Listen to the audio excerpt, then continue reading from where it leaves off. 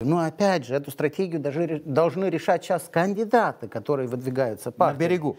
А они в коем случае не должны, вот именно партии, которые вообще не имеют ничего общего, скажем, с господином Стояноглу. Они просто поддерживают этого кандидата, он не означает, что он является выдвиженцем этой партии, и что эта партия должна за него э, решать, с кем общаться, потому что это неправильно с точки зрения ни юридической, ни политической. Вывод напрашивается, что... Но несмотря на это, вы уважаете господина кандидата. Я господин... А он сегодня сказал, я не политик. И я не исключаю, что даже в этом дискурсе, который был, его просто чуть-чуть переиграли по поводу высказываний, которые... Ну, господин было, кандидат сказал, что он выступает за европейскую интеграцию. Да, и это тоже приятно было услышать. На платформе партии социалистов мы слышим, что выдвигается кандидат, что будет ну, поддержан кандидат, который ну, поддерживает я европейскую Я смотрел на выражение лица господина Дадона. Ну и господин Дадон был министром экономики в правительстве, которое разработало план совместных действий Республика Молдова и Евросоюз, который очень тщательно внедрялся.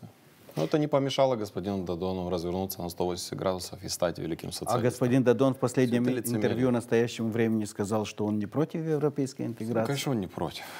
А но, когда он был против? Но с условием.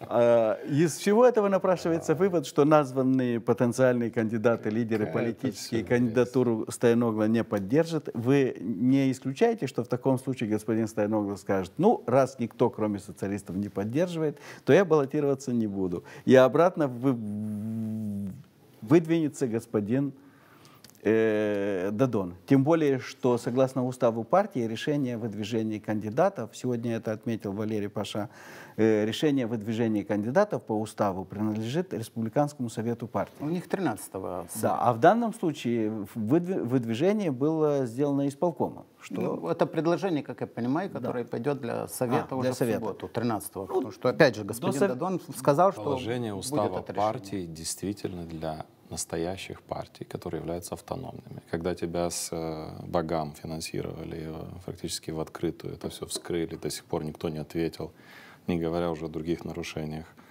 нашего законодательства в смысле финансирования партии и так далее, то для такого рода партий э, тот, кто финансирует, кто контролирует, кому они служат, тот и решает. И там решили. Дадон очень хотел баллотироваться, очень хотел. А вы не исключаете вот не этот вариант, что ему еще дадут?